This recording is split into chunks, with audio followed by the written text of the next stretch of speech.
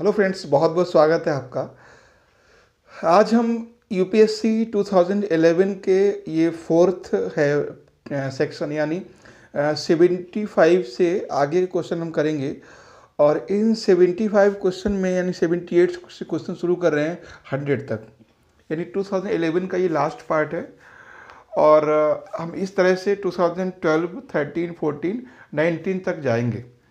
और कोशिश करेंगे जल्दी इसको करें हम। हो सकता है कि आ, कल से दो वीडियो आना शुरू हो जाए एक नौ बजे और एक दस बजे ठीक है ताकि जल्दी हो सके कवर।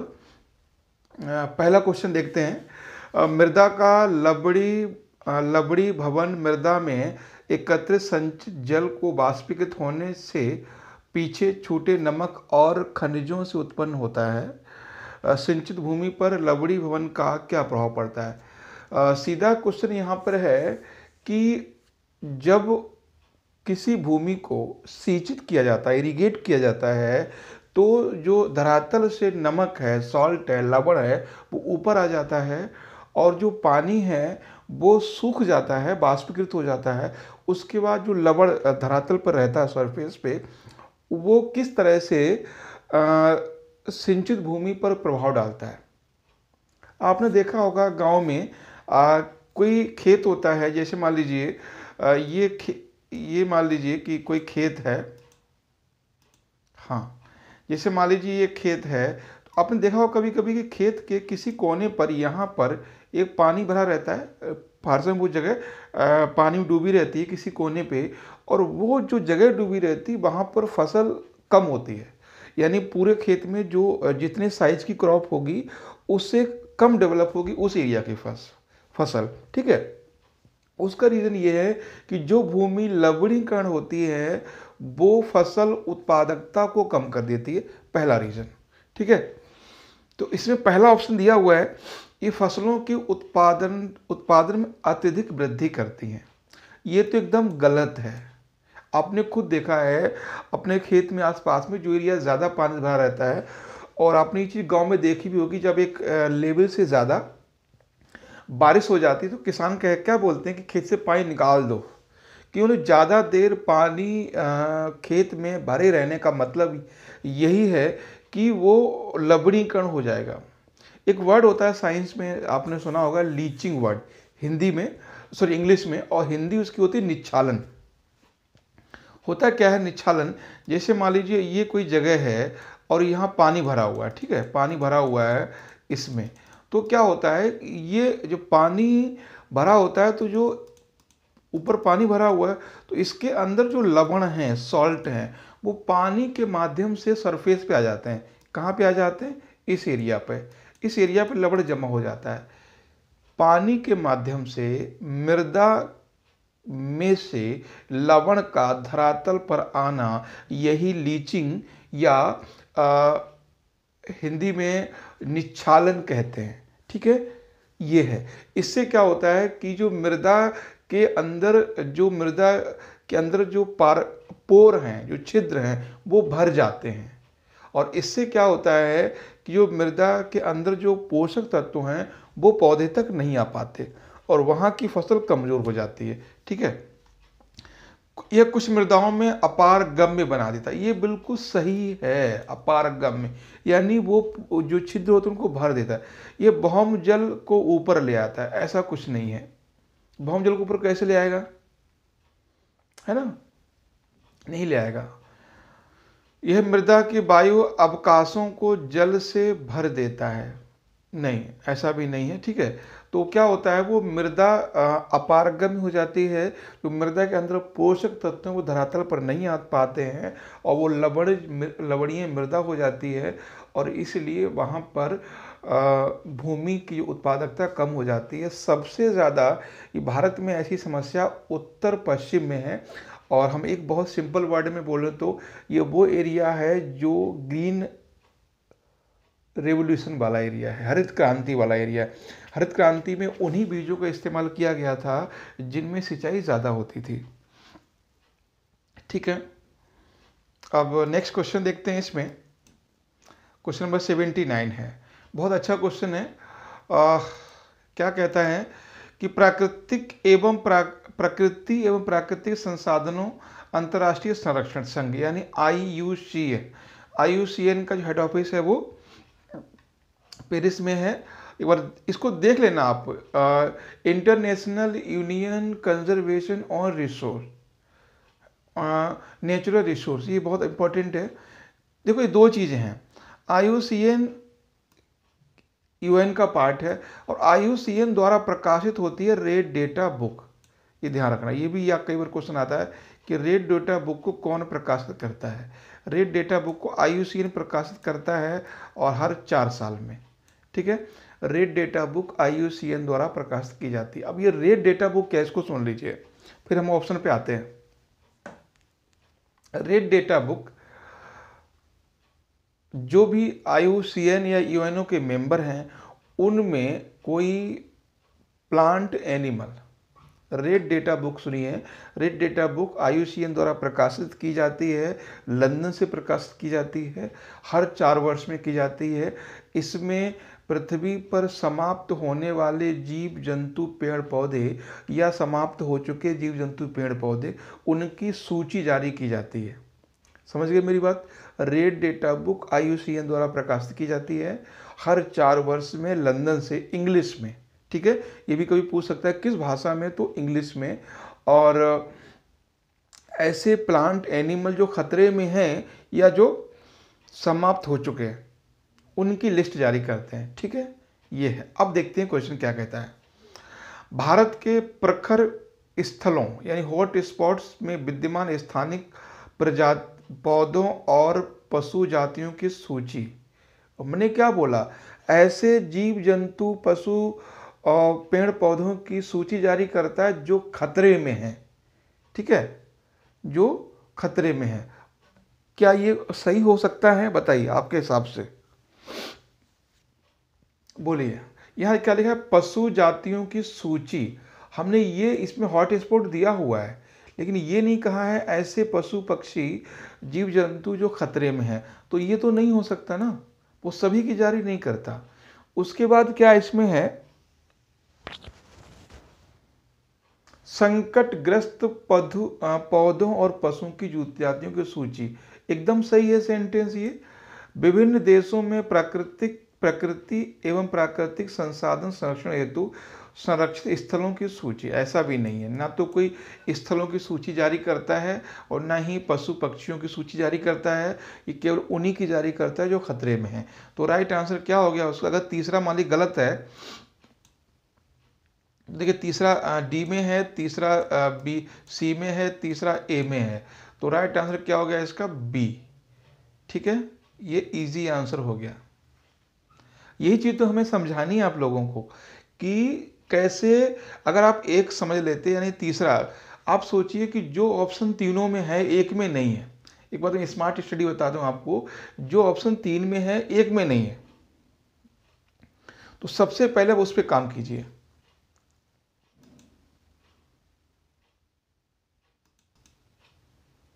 और आप यहाँ पे एक चीज़ देख रहे हो कि तीन है वो तीन ऑप्शन में है। तो सबसे पहले इस इसको बोलते हैं जल्दी से क्वेश्चन तक पहुँच। अगर आपको तीन को समझ लेते तो जहाँ तीन नहीं उसको हटा दो। जहाँ तीन है उसको हटा दो। बहुत जल्दी आपको दो क्वेश्चन पढ़ने की ज़रूरत ही नहीं थी। ठीक है नेक्स्ट क्वेश्चन देखते हैं। क्वेश्चन नंबर एट्टी है। वाणिज्यिक बैंकों द्वारा दिए जाने वाले लोक लुभावन ऋण ऐसे ऋण जो आ, इज़, मतलब आसान शर्तों पर दिए जाते हैं, उनको हम लोक लोहावन ऋण कहते हैं टीजर लोन क्यों? कर आर्थिक चिंता का विषय है। जो टीजर लोन है, ऐसे लोन जो कम शर्तों पर दिए जा रहे हैं और और वेलफेयर के लिए दिए जा रहे हैं, आसान शर्तों भी दिए जा रहे हैं, वो चिंता का विषय क्यों है? पहला है इसमें लोक लुभावन ऋण, अधोमुख्य ऋणों का ही एक रूप समझे जाते हैं तथा बैंकों को ये जोखिम रहता है कि भविष्य में उनके ऋण चुकता ना हो। ये बात ठीक है। अगर आप बहुत आप हर किसी को ऋण देना शुरू कर देंगे, बैंक हर किसी को बोले, आओ, नाम लिखो और दो लाख रुपए ले जाओ। आओ, अपना नाम लिखो, दो लाख रुपए ले जाओ। या आओ, अपना आधार कार्ड दो दो लाख रुपए, पाँच लाख, दस रुपए, लाख रुपए ले जाओ। तो क्या लगता है आपको, सिर्फ़ आधार कार्ड लेने से आपका जो पैसा आपने दिया उसकी गारंटी हो गई क्या? है ना? नहीं हुई। अगर किसी ने एक लाख रुपए लिया तो आप कहाँ सारी व्यवस्था को इतना करेंगे कि आप उसके वसूल कर पाएँ? तो आज तो ये प्रॉब्लम है। तो पहली बात है, ये एकदम सही है, ऐसा है, चिंता का विषय इसलिए है। देश में लोक लुभावन ऋण मुख्यतः अनुभवहीन उद्यमियों को उत्पादन संबंधी तथा निर्यात इकाइयाँ स्थापित करने के लिए दिया जाता है। ऐसा तो कभी हो ही नहीं सकता कि कोई भी बैंक किसी भी व्यक्ति को अनुभवहीन को नहीं दे सकता। मतलब जानबूझ के खतरा वो नहीं ले सकते। ठीक है? तो दूसरा गलत है। दूसरा गलत यहाँ पर दो है, यहाँ पर दो है। अब एक केवल आंसर ए सही है। है ना? जो टीजर लोन है, वो इसलिए मतलब खतरे का सौदा होते हैं कि आसान किस्तों पे दी, आसान शर्तों पे दिए जाते हैं और आसान चीज़ जो मिल जाती है उसको दोबारा वापस करने में प्रॉब्लम बहुत होती है लोगों को। ठीक है, इसलिए है। अब नेक्स्ट क्वेश्चन देखते हैं 81 80 का हो गया ए आंसर। ये भी अच्छा क्वेश्चन है। पृथ्वी के चारों ओर परिक्रमा कर रहा कृत्रिम उपग्रह उपग्रह इसलिए पृथ्वी पर नीचे नहीं गिरता क्योंकि पृथ्वी का आकर्षण। ठीक है, यानी पृथ्वी के चारों ओर जो एक सैटेलाइट है, वो पृथ्वी के धरातल पर क्यों नहीं गिरता? उसका रीज़न है उतनी दूरी पर अस्तित्वहीन होना। ऐसा नहीं है। चंद्रमा के आकर्षण से निष्क्रिय हो जाता है। ऐसा भी नहीं है। उसकी नियत चाल के आवश्यक गति प्रदान करना, उसकी गति के लिए आवश्यक तोड़ प्रदान करना। यानी जो पृथ्वी का आकर्षण है, जो अट्रैक्शन है, देखो, आप यहाँ अटक सकते हो। एक्सिलेटरेट करना मतलब तोड़ प्रदान करना। तो जो पृथ्वी का अट्रैक्शन है, वो उसको एक तोड़ प्रदान कर देता है क्योंकि खिंचाव अगर बराबर से साइंस जो लोग पढ़े होंगे, वो समझते होंगे चीज़ों को बराबर से अगर करेंगे तो खिंचाव यानी एक एक्सीटर बढ़ जाता है। आपने बचपन में खिलौना देखा होगा, जिसको अगर एक बार आप हिला देते तो वो घूमता रहता है इस तरह से। याद होगा शायद बचपन में आपको खिलौना। तो वो क्या होता है कि जो उसका जो मूवमेंट है, वही उसको तोड़ प्रदान कर रहा है एक्सेलरेट कर रहा है। उसी तरह से पृथ्वी का आकर्षण भी है। खैर, हम क्वेश्चन देखते हैं। Eighty two eighty two question क्या कहता है? भारतीय अर्थव्यवस्था के संदर्भ में निम्नलिखित कथनों पर विचार कीजिए। विगत वर्षों में सकल घरेलू उत्पाद की वृद्धि में सतत रूप से वृद्धि हुई है। ठीक है? पहली बात इन्होंने क्या बोला है? विगत पाँच वर्षों में। तो पाँच वर्षों में मैंने क्या बोला? यूपीएससी में जो लगे आपको यार, गलत है, तब तो है ही।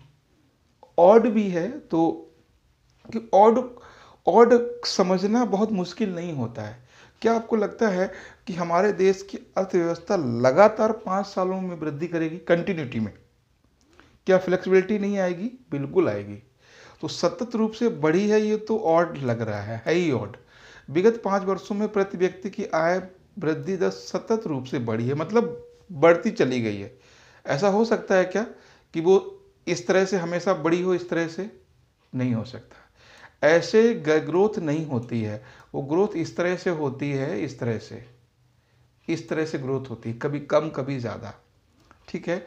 तो इसका आंसर है डी ये ऑड लग रहा है आपको नॉलेज नहीं होते हुए भी। किसी देश की इकोनॉमी खासकर इंडिया जैसे देश की इकोनॉमी जो है, पाँच साल पाँच साल न तो किसी व्यक्ति की लगातार इनकम बढ़ेगी और न ही इकोनॉमी बढ़ेगी, ठीक है? तो दोनों ऑप्शन इसमें गलत हैं। भले आपने इस डेटा को पढ़ा या नहीं पढ़ा, वैसे मैं डेटा बता दूँ आपको, ये डेटा कहाँ मिलेगा, इस तरह का डेटा ये, इस तरह का डेटा आपको मिलता है इकोनॉमिक सर्वे में। जो बजट पेश होने से पहले दो दिन पहले प्रकाशित की जाती है। बजट आने से पहले दो दिन पहले बुक आती है आर्थिक समीक्षा। वहाँ ये डेटा मिलेगा आपको। फ़र्स्ट सेकंड चैप्टर मिल जाता है। नेक्स्ट क्वेश्चन है इसमें।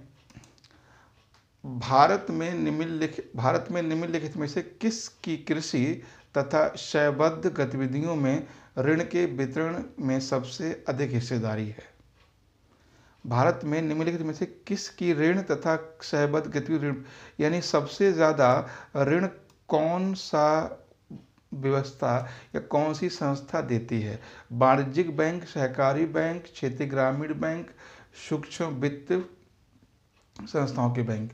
किससे क्या पूछा? कृषि तथा संबद्ध गतियों के लिए, गतिविधियों के लिए। कृषि के लिए सबसे ज़्यादा जो ऋण प्रदान करते हैं, वो बैंक कौन से हैं? क्या आपको लगता, आपको, आप बताइए, आपके जो गाँव में लोग हैं, आसपास लोग हैं, कितने लोग हैं जो सहकारी बैंक से ऋण लेते हैं? ज़्यादातर वो कॉमर्शियल बैंक से ऋण लेते हैं, जैसे एस बी आई है पी एन बी है। तो सबसे ज़्यादा जो ऋण प्रदान करने वाला संस्था है, वो है वाणिज्यिक बैंक। ठीक है? कृषि को सबसे ज़्यादा, ये बहुत अच्छा क्वेश्चन है कि मोस्टली लोग सोचेंगे क्षेत्रीय ग्रामीण बैंक। है ना? लोग सोचेंगे ऐसा, लेकिन ऐसा ये नहीं है। ये वाणिज्यिक बैंक है। क्लियर है? क्वेश्चन नंबर है एट्टी फोर एट्टी फोर क्या कहता है? सरकार के समावेशित वृद्धि लक्ष्य को ले जाने में निम्नलिखित में से कौन सा कार्य सहायक सिद्ध हो सकता है? समावेशित वृद्धि। ये क्या होता है समावेशित वृद्धि?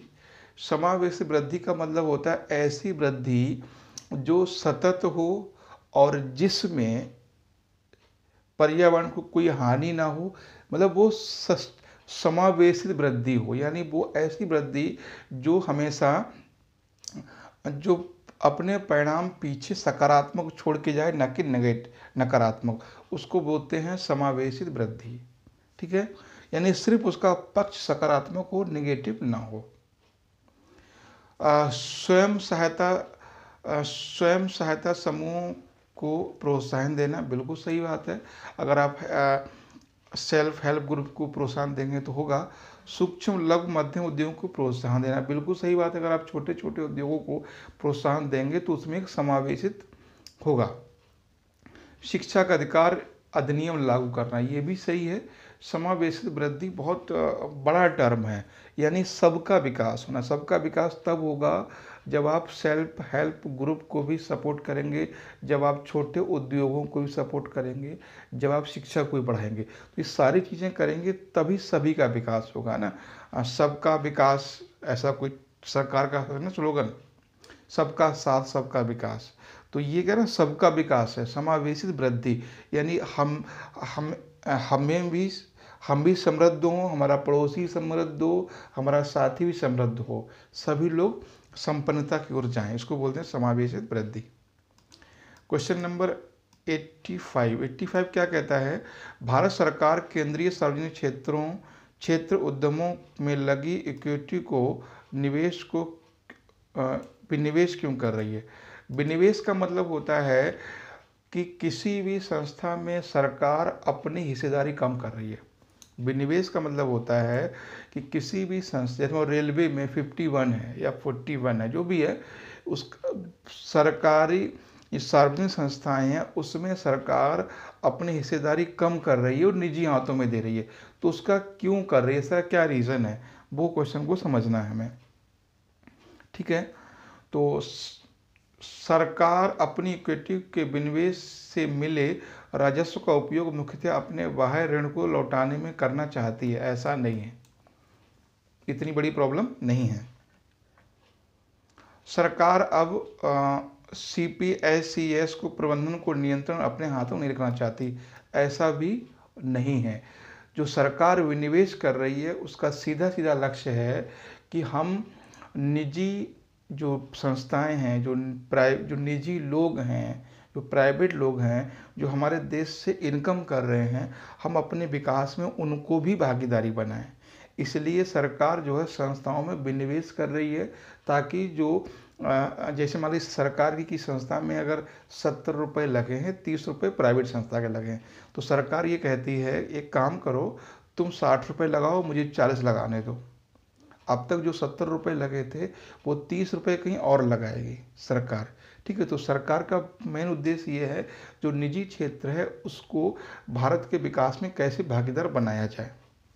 ये उद्देश्य है सरकार का। ठीक है, बाकी इसका विरोध बहुत होता है निजीकरण का, ये तो बात सब जानते ही हैं कि लोग कह रहे हैं कि सरकार जो आर्थिक जगत है, उसके हाथों बिक चुकी है, वो सारी चीज़ें हैं, बट सरकार का अपना एक उद्देश्य होता है और ये कई हद तक सही भी अगर निष्पक्ष हो, निजी हाथ में टाटा, अंबानी ये सब लोग थे जिन्होंने हमारे देश को बनाया तो नो डाउट बहुत बड़ा योगदान है। क्वेश्चन नंबर देखिए 86 क्या कहता है? क्षुद्र ग्रहों तथा धूमकेतु के बीच अंतर क्या है? एक बार बता दें आपको क्षुद्र ग्रह जो हैं, वो मंगल और बृहस्पति के बीच में होते हैं और धूमकेतु एक तारा है जो सूर्य के आसपास यानी शुक्र या मंगल के आसपास। मतलब बुद्ध के आसपास होता है, ठीक है? तो देखते हैं एक बार। क्षुद्र ग्रह लघु चट्टानों ग्रहकाएँ यानी प्लेनाइट्स जबकि धूमकेतु हिम सी, हिम शीतित गैसों से निर्मित होते हैं, जिन्हें चट्टानी और धातु पदार्थ आपस में बांधे रखते हैं। एक बात ही बोले हिम शीतित गैस। हिम शीतित अगर गैस से बने हुए हैं तो उसको कठोर चट्टाने कैसे आपस में बाँध सकती हैं? ये कोई कॉम्बिनेशन लग रहा है आपको? या तो कोई पदार्थ सिर्फ़ गैस का है, या कोई पदार्थ सिर्फ़ ठोस का है। तो ये कितना ऑड लग रहा है आपको। एक चीज़ ऐसी है जो गैस की है, लेकिन पत्थर उसको बांधे हुए ऐसा हो सकता है क्या कभी? नहीं हो सकता। तो ये ऑप्शन गलत अगर एक गलत है तो एक बस हो गया काम। मिल गया आपको आंसर? ठीक है? एक अगर गलत है तो आपको इजी आंसर मिल गया। ठीक है? कौन सा आंसर है इसका? सी धूमकेतु, गोचर दीप्तांत पुच्छी होते हैं, जबकि क्षुद्र ग्रह ये नहीं दर्शाते हैं। बिल्कुल सही बात है।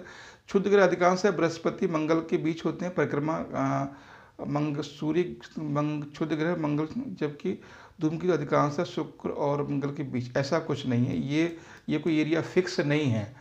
वो कभी कभी सूर्य के पास से निकलते हैं। जैसे मान लीजिए ये ये सूर्य है और यहाँ से पास से अगर निकलेगा धूमकेतु तो इसकी गर्मी से वो गैस है वो पूँछ में बदल जाएगी। है ना? तो ये चीज़ है। केवल इसका सी आंसर है। क्वेश्चन नंबर है एट कौन सा था? एट्टी सिक्स और eighty seven sorry eighty seven इस आर्थिक विकास सामान्यतः युग्मित होता है। आर्थिक विकास। आर्थिक विकास का मतलब होता है स्फीति के साथ। स्फीति का मतलब होता है मार्केट में पैसे का ज़्यादा आ जाना। ये क्वेश्चन थोड़ा सा वैसा था, मैं इसको बाद में डिस्कस करूँगा कभी। है ना, कुछ क्वेश्चन हैं जो मुझे मुझे खुद डाउट है यूपीएससी में, ऐसा आंसर कैसे हो सकता है? भारतीय रिज़र्व बैंक के बैंक दर कम करने का फलस्वरूप क्या होता है? अगर भारतीय रिज़र्व बैंक, यानी आरबीआई बैंक रेट कम करती तो उसका पर्पज़ क्या होता सपोज़ कीजिए, अभी आरबीआई जो लोन दे रही है, वो सात रुपये के दर से दे रही है। कल को वही लोन सात रुपये की जगह पर पाँच रुपये हो जाए तो क्या होगा कि ज़्यादा से ज़्यादा बैंक लोन लेंगे आरबीआई से, और जब उन्हें सस्ते रेट पे लोन मिलेगा तो लोगों को भी मतलब फ्लेक्सिबिलिटी कम दर पे लोन देंगे। तो होगा क्या कि आरबीआई ने दर कम किया तो बैंकों ने उससे लोन ज़्यादा लिया। जब बैंकों ने ज़्यादा लोन लिया तो बैंकों ने लोगों को आसान शर्तों पे लोन देना शुरू किया, कम दर पर लोन देना शुरू किया। यानी कि इसका मतलब अल्टीमेटली क्या हुआ कि मार्केट में जो मनी है, पैसा है, उसका फ्लो बढ़ गया। अब देखते हैं क्वेश्चन क्या है। बाज़ार में तरलता वृद्धि, एकदम सही है। बाज़ार में तरलता घटे। कैसे घटेगी भाई? पैसा लोगों के पास आ गया ना। बाज़ार की तरलता पर कोई प्रभाव नहीं, बिल्कुल पड़ेगा भाई। वाणिज्यिक बैंक अधिक पूंजी जमा पूंजी संग्रहित कर लेते हैं। ऐसा नहीं है। जब उन्हें पैसा मिलेगा तो पैसा देंगे भी लोगों को, ठीक है?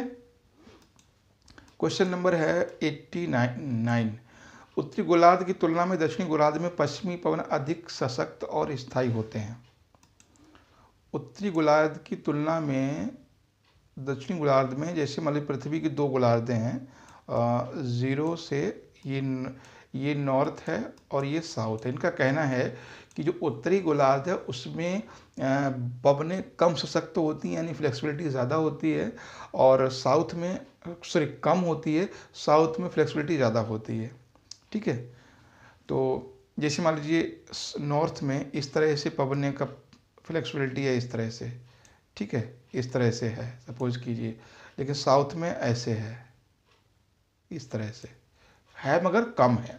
इसका रीज़न क्या है? उत्तरी गोलार्ध की तुलना में दक्षिणी गोलार्ध में भूखंड कम है। बिल्कुल सही बात है। जब भूखंड कम होंगे तो टेम्परेचर वेरिएशन कम होगा। जब टेम्परेचर में वेरिएशन कम होगा तो विंड का जो फ्लेक्सिबिलिटी है वो अपने आप कम हो जाएगी। सीधी सी बात है, जब टेम्परेचर बार बार चेंज होता है तो प्रेशर चेंज होता है और आपको पता है वो विंड प्रेशर के हिसाब से मूव करती है। हाई प्रेशर से लो प्रेशर उड़ जाती है। जब बार बार तापमान बदलेगा, कभी पैंतीस से चालीस होगा, चालीस से छियालीस होगा, छियालीस से बाईस हो जाएगा, बाईस से दस हो जाएगा तो क्या होगा? विंड का मूवमेंट भी चेंज होगा। अगर टेम्परेचर एक एक जैसा रहेगा जैसे समुद्र का तापमान मान लो सत बाईस से लेकर छब्बीस तक है, यही है। तो उसी टेम्प वही प्रेशर है। जब टेम्परेचर नहीं चेंज हो रहा है तो प्रेशर भी चेंज नहीं हो रहा है। जब प्रेशर चेंज नहीं हो रहा है तो विंड का मूवमेंट चेंज नहीं हो रहा है। ठीक है? तो ये चीज़ है। ये क्वेश्चन सही है। उत्तरी गोलार्ध की तुलना में दक्षिणी गोलार्ध में कोरोलिस बल अधिक होता है। ऐसा कुछ नहीं है। ये गलत है। 81 का आंसर है इसमें केवल ए। ए आंसर है। अब इसमें समझ लीजिए एक बार क्या है। कोरियोलिस जानते हैं। कोरियोलिस मतलब होता है कि जब जैसे ये पृथ्वी है, ठीक, ये पृथ्वी है तो कोरियोलिस बल की वजह से नॉर्थ हेमिस्फीयर में विंड इस तरह से मूव कर जाती हैं और ठीक, इसके कोरियोलिस बल के कारण ही होता है और ये इस तरह से मूव कर जाती हैं, इस तरह से। ये विंडो, विंड का जो है वो ये है। होता क्या है कि जब विंड यहाँ से चलना शुरू होती है तो पृथ्वी का जो रोटेशन है वो क्या है? वो वेस्ट टू ईस्ट है वेस्ट टू ईस्ट है। तो जो विंड इधर आनी चाहिए तो हाँ पृथ्वी ऐसे घूम रही है तो इधर मुड़ जाती है वो। वही चीज़ सेम यहाँ है। जो विंड को इधर जाना चाहिए था, घूमने की वजह से वो इधर मुड़ जाती है। इसी को कहते हैं कोरियोलिस बल। कभी इसको जोग्राफी बहुत अच्छे समझाएँगे और हमने ऑफलाइन क्लास में वैसे भी कई बार समझाया भी है, ठीक है? तो कोरियोस बिल कम और ज़्यादा का मतलब नहीं है, वो केवल घूमने से होता है। तो कभी आपसे क्वेश्चन बने कि ग्लोब पर पवनों की दिशा को कौन निर्धारित करता है? उसमें एक तो ऑप्शन हो सकता है कोरियोलिस बल और दूसरा हो सकता है पृथ्वी घूर्णन सेम चीज़ है। जब भी होगा, एक ही ऑप्शन होगा। पृथ्वी का घूर्णन होगा या कोरियोलिस बल होगा। दोनों एक साथ नहीं होंगे। और एक मैं और बता दूँ कि जो कोरियोलिस बल है, वो भूमध्य रेखा पर मिनिमम यानी ज़ीरो होता है। सबसे ज़्यादा होता है ध्रुवों पर। समझ गए मेरी बात? कोरियल कई बार क्वेश्चन आता है कि भूमध्य रेखा के आसपास में चक्रवात कम बनते हैं। क्यों कम बनते हैं? क्योंकि वहाँ पर कोरियोलिस बल ज़ीरो होता है। यानी वहाँ पर जो विंड है, वो मूवमेंट नहीं कर पाती। जब वो विंड मूवमेंट नहीं कर पाएगी तो साइक्लोन नहीं बनेगा। ठीक है? भूमध्य रेखा पर कोरियोलिस बल ज़ीरो यानी न्यूनतम होता है, इसलिए भूमध्य रेखा के आसपास ज़ीरो से पाँच डिग्री सल तक कोई भी क्षैतिज हवा नहीं चलती है, इसलिए वहाँ पर चक्रवात नहीं आते हैं। ज़ीरो से पाँच या दस डिग्री तक। आप इसको देखना गौर से। तो इसका आंसर क्या होगा? इसका आंसर केवल होगा एक। क्वेश्चन नंबर नाइन्टी है। निम्नलिखित में से किसके द्वारा भारत और पूर्वी एशिया के मध्य नौ संचालन तो बहुत फैक्चुअल क्वेश्चन है। मैं इसका आंसर बता दे रहा हूँ सीधे सीधे इसका आंसर है नाइन्टी का बी ठीक है? बी है ये, एक बार मैप पे आप देख लेना। ये करंट का क्वेश्चन है, उस समय से मुझे नहीं लेना चाहिए था, फिर भी। ये देखिए, ये साइंस का इसको भी छोड़ देते हैं, ये बहुत ही टफ क्वेश्चन है। तो यूपीएससी में हंड्रेड में आपको दस क्वेश्चन ऐसे मिलेंगे जिनको आपको वास्तव में टच नहीं करना है। आपको कितने क्वेश्चन करने हैं भाई? फिफ्टी क्वेश्चन करने हैं, है ना? कितने करने हैं? You have to fifty question fifty five मान लेते हैं। और आप लोग सेवेंटी अटेंड कीजिए क्वेश्चन कोई दिक्कत नहीं है। बीस, तीस क्वेश्चन छोड़ने हैं आपको। तो ऐसे क्वेश्चन आपको लगे, ऐसा नहीं ये क्वेश्चन नहीं हो सकता, बिल्कुल हो सकता है। इसको साइंस वाले करेंगे। साइंस वाले इसको करेंगे, हम भी कर सकते हैं, कोई प्रॉब्लम नहीं है। लेकिन अगर आपको लगे बहुत ज़्यादा टफ हो रहा है तो इसको छोड़ भी सकते हो। ठीक है? वैसे इसका मैं आंसर बता दे रहा हूँ आपको क्या है। इसका जो आंसर है वो है सी। ठीक है? भाई क्वेश्चन आप देख लेना ये क्या है क्योंकि टाइम ज़्यादा, टाइम कम रह गया है। आधे आधे घंटे की मुझे वीडियो बनानी थी। सिंधु घाटी सभ्यता के संदर्भ में निम्नलिखित पर विचार कीजिए। ये प्रमुखता लौकिक सभ्यता थी, जिसमें धार्मिक तत्व यद्यपि उपस्थित था, वर्चस्व में नहीं था। ये बिल्कुल बात सही है कि सिंधु घाटी सभ्यता में रिलीजियस पॉइंट ऑफ़ व्यू थे, लेकिन बहुत हावी नहीं थे। उस काल में भारत में कपास के वस्त्र बनाए जाते बिल्कुल सही है, दोनों सही है। सिंधु घाटी सभ्यता में कपास के वस्त्र बनाए जाते थे, ये बात एकदम सही है। नेक्स्ट क्वेश्चन देखते हैं। गंगा के निचले मैदानों में विशेषता ये है कि यहाँ वर्ष भर जलवायु उच्च तापमान के साथ आर्द्र बनी रहती है। गंगा के निचले मैदानों की बात कर रहे हैं ये, ठीक है? इस क्षेत्र में निम्नलिखित फ़सलों में से कौन सा युग्म सबसे उपयुक्त होगा? पहली बात, गंगा के निचले मैदान की बात हो रही है, ठीक है? तो यहाँ पर काली मिट्टी नहीं है जो कपास होगा, ठीक है? यहाँ का उच्च तापमान उच्च तापमान है इसलिए यहाँ पर गेहूँ नहीं होगा। कपास यहाँ भी है। देख रहे हो? कितना आसान हो जा रहा है क्वेश्चन बस, ऐसे ही करना है। क्वेश्चन नंबर है नाइन्टी फोर अफ्रीकी और यूरेशियाई मरुस्थली क्षेत्र निर्माण के क्या कारण हो सकते हैं? यानी अफ्रीका और यूरेशियाई क्षेत्र, यूरेशिया एशिया और एशिया, यूरोप और एशियाई क्षेत्र में क्या कारण है? वहाँ पे मरुस्थल हैं डेजर्ट है। ये उपोष्ण उच्च दाब कोशिकाओं से अवस्थित होते हैं। बिल्कुल सही है, उच्च वायु दाब है वहाँ पे। ये उष्ण महासागर धाराओं के प्रभाव क्षेत्र में, ऐसा नहीं है यार।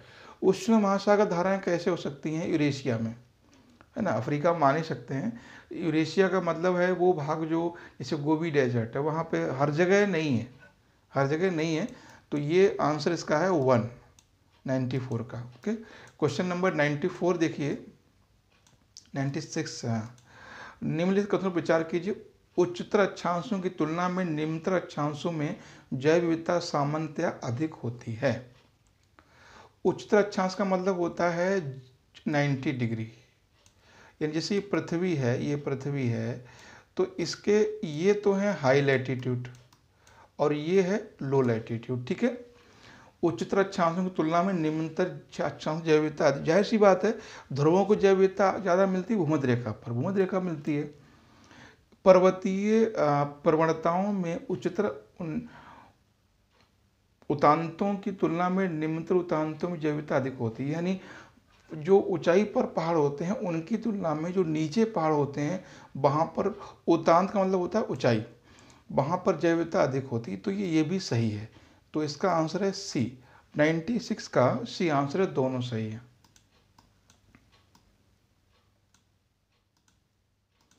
तिब्बत में तिब्बत में उत्पन्न उत्पत्ति उत्पत्ति पाने वाली ब्रह्मपुत्र रावदी मेकांग नदियाँ अपने ऊपरी पाटों में संकीर्ण, समानांतर पर्वत श्रेणी से होकर प्रवाहित होती हैं। इन नदियों में ब्रह्मपुत्र भारत में प्रविष्ट होने से ठीक पहले अपने प्रभाव में यू टर्न लेती है यानी इस तरह से मुड़ जाती है। यह यू टर्न क्यों बनाती है? बलित हिमालय हिमालय श्रेणियों का उत्थान के कारण। ऐसा नहीं है जहाँ पर हर जगह बलित श्रेणियाँ हैं, वहाँ यू टर्न लेगी। ऐसा कोई ज़रूरी नहीं है। तो ये भी आंसर गलत हो गया। भू वैज्ञानिकीय तरुण हिमालय के अच्छांसंगीय नमन के कारण, यानी जो अच्छांसंगीय झुकने के कारण। ये बात एकदम सही है। तृतीय कल्प श्रेणी बलित पर्वतों, ऐसा कुछ नहीं है, ये भी नहीं है। तो आंसर क्या इसमें है? बी। नेक्स्ट क्वेश्चन देखते हैं नाइन्टी एट का। निम्नलिखित विशेषताओं पर भारत एक राज्य की विशेषता है। इसका उत्तरी भाग शुष्क और अर्ध शुष्क है। इसके मध्य भाग में कपास का उत्पादन होता है। यह राज्य में खाद्य फ़सलों की तुलना में वाणिज्यिक नकदी फ़सलें अधिक होती हैं। देखो, आंध्र प्रदेश में क्या है ना, शुष्क प्रदेश नहीं है, ये नहीं हो सकता। कर्नाटक में शुष्क प्रदेश नहीं है। तमिलनाडु में वाणिज्यिक क्रॉप नहीं है। तो गुजरात में सबसे ज़्यादा कपास होता है। गुजराती राइट आंसर है। ठीक है? अब नेक्स्ट क्वेश्चन है हंड्रेड क्वेश्चन है। धर्म तथा रित की प्राचीन वैदिक सभ्यताओं के केंद्रीय विचार को चित्रित करते हैं। इस संदर्भ में निम्नलिखित विचारों पर कथन विचार कीजिए। क्या है इसमें है कथन? पहला है इसमें। ओके। हम्म। पहला कहता है कि धर्म व्यक्ति के दायित्वों एवं समूह तथा दूसरों के प्रति व्यक्तिगत कर्तव्यों की संकल्पना करता है। ये नहीं है। रित क्या है? कि विधान है ये भी नहीं ये डी आंसर है ठीक है? ये इसका डी आंसर ऐसा इनमें से कुछ धर्म और रित की व्याख्या जो है वो आ, प्राचीन वैदिक सभ्यता में कुछ और ही है ठीक है? तो ये नहीं है। तो प्राचीन वैदिक साहित्य में जो आज का धर्म है इसकी बात नहीं की गई है। तो ये तो थे आज के हन, अब हंड्रेड क्वेश्चन है यानी पच्चीस क्वेश्चन आज के थे। नेक्स्ट वीडियो में कल से हम 2012 के क्वेश्चन लेकर आएँगे। ये मेरी आप बात मानिए, इनको बहुत अच्छे से आप सॉल्व कीजिए। जब ये सॉल्व करोगे तो आपको बहुत आसानी होगी नेक्स्ट ईयर के या आने वाले एग्ज़ाम को पेपर को सॉल्व करने में। कम से कम जो हम एलिमिनेशन प्रोसेस बताते हैं, वो उस पर बहुत ज़्यादा ध्यान देना है। और एक बात जान लीजिए यूपी पी वगैरह में क्वेश्चन रिपीट भी होते हैं। है ना? इस बार यूपीएससी का मेन यूपीपीएससी का जो मेंस पेपर हुआ है, उसमें भी कई सारे चेंजेस हुए हैं। तो क्योंकि यूपी कोई भी स्टेट है, उसके पास अपने क्वेश्चन नहीं है तो वो क्या करते हैं यूपीएससी कोई लाइन उठा लेते हैं। और यूपीएससी वाले भी क्या करते हैं, जो कभी उन्होंने पुरानी कोई सेंटेंस दिया, उसको उठा लेते हैं। तो बहुत ज़्यादा चांस रहते हैं प्रीवियस ईयर क्वेश्चन के आने के डायरेक्ट और इनडायरेक्ट उसका मेन पर मेन पर्पज़ यही होता है कि भाई, आजकल कोई नहीं काम करना चाहता है।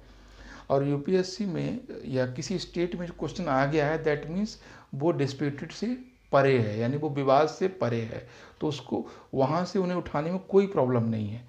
वो सीधे वहाँ से उठा के दे सकते हैं। तो मेरा मतलब कहने की है कि आप प्रीवियस ईयर क्वेश्चन पर भी फोकस बनाए रखिए। Thank you